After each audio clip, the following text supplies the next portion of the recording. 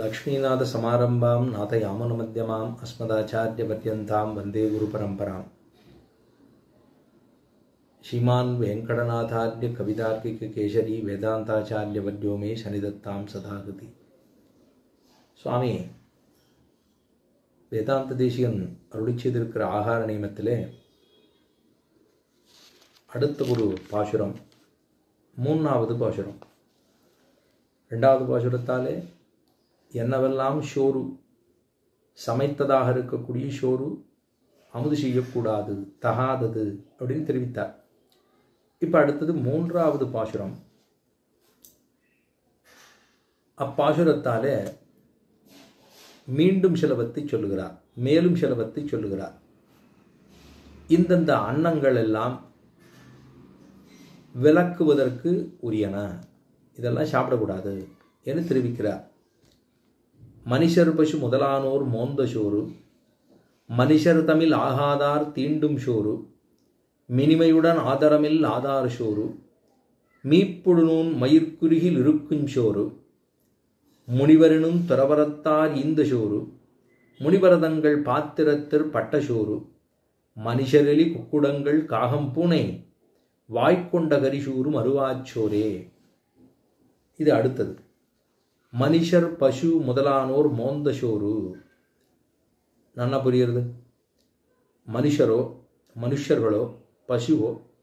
பசுன்னு சொன்னோம்னா பசுமாடுன்னு கணக்கடல பசுன்னு சொன்னாலே நாலு கால் பிராணி எதுவாக இருந்தாலும் அது மோந்துருத்துன்னா மனுஷர் பசு முதலானோர் மோந்த சோறு அது ஆரோ மோந்து பார்க்குறான் பார்த்துட்டா அதை நம்ம பார்த்துட்டோம் அப்புறம் நம்ம என்ன பண்ணலாம் அப்படின்னா நாமத்தை தொடுவது கூடாது. ஏன்னா பகவானுக்கு முதல்ல அது அமுது செய்திருக்கப்பட வேண்டும்.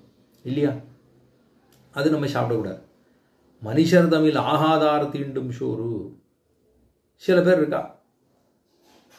சில பதிதர்கள் யாரெல்லாம் தொடக்கூடாதோ அவர்களெல்லாம் தொட்டுவிட்டால் அதை நாம் அமுது செய்யக்கூடாது. தொடத்தகாத பதிதர் ரோகிகள் இவா எல்லாம் தொட்டுட்டா ஸ்பர்சிச்சுட்டா. அதை தொட்டுட்டான்னு சொன்னால் அந்த சாப்பாடை சாப்பிடுவது கூடாது. அதான் மனுஷர் தமிழ் ஆகாதார் தீண்டும் சோறு. மேலே சொல்கிறார் மினிமையுடன் ஆதரமில்லாதார் சோறு. அதாவது அவர்களுக்கு இனிமையாக பேசணும். இனிமையுடன் ஆதரமில்லாதார். இனிமையோட முதல்ல ஒருத்தருட்டம். அதாவது அங்கே எங்கேயோ போட்டோம்.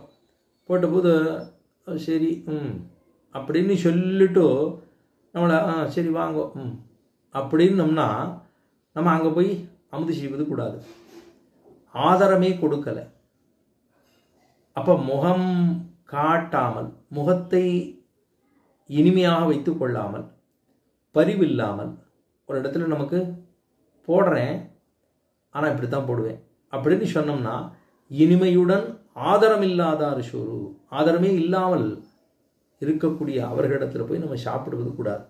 இனிமையுடன் ஆதரமில்லாத இல்லாதார் ஆதரமே இல்லை. ஏதோ சொல்கிறா அப்படிங்கிறதுக்காக போடுறோமே தவிர ஆனால் அதில் கொஞ்சம் கூட இஷ்டமே இல்லை. அங்கே போய் நாம் சாப்பிடலாமா? கூடாது. இனிமையுடன் ஆதரவில்லாதார் ஷோரு மீப்புழு நூன் மைக்குருகி இருக்கும் ஷோரு. அதில் சில இடத்துல மீ புழு நூன் மயிர் உருகிற்கில் இருக்கும் சோறு. அதில் ஈ புழு நூல் மயிர் நகம். அதைத்தான் கீர்க்கில் இருக்கும் சோறு.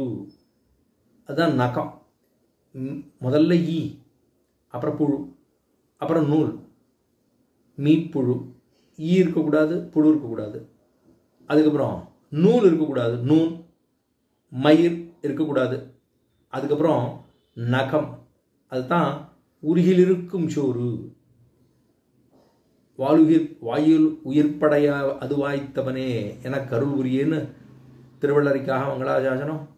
அவர் அத்தையே அத்தையே நகத்தையே தான் தன்னுடைய ஆயுதமாக கொண்டான் எம்பெருமான் அப்படின்னு சொல்ல முடியும் அப்போ அந்த நகமானது நகம்ங்கிறது எம்பெருமான் அவர் வதம் பண்ணுறதுக்கு உபயோகப்படுத்தினது. இங்கே மனுஷர்கள் போடுற போது அதில் ஈ இருந்திருக்கக்கூடாது புழு இருந்திருக்கக்கூடாது நூல் இருந்திருக்கக்கூடாது நகம் இருந்திருக்கக்கூடாது மயிர் இருக்கக்கூடாது. இதெல்லாம் இருந்தது அப்படின்னா அதை நம்ம தொடுவது கூடாது. முனிவரனும் துறவரத்தோர் இந்த சோறு சந்நியாசி கொடுத்தது கூடாது. அப்புறம் முனிவர் தங்கள் பாத்திரத்தில் பட்டசோறு சன்னியாசியினோட பாத்திரத்தில் பட்டு அது கூடாது. அதுக்கப்புறமாக முனிவர் தங்கள் பாத்திரத்தில் பட்டசோறு மனுஷரெலி குக்குடங்கள் காகம் பூனை மனுஷர் எலி கோழி காக்கா பூனை. இவ வாய்ப்பட்டது மனுஷர் எலி. மனிதராக இருக்கட்டும் எலியாக இருக்கட்டும் குக்குடங்கள் கோழியாக இருக்கட்டும் காகமாக இருக்கட்டும் பூனையாக இருக்கட்டும். இது எதுவாகும்? வாய்க்கொண்ட கரிசோறு.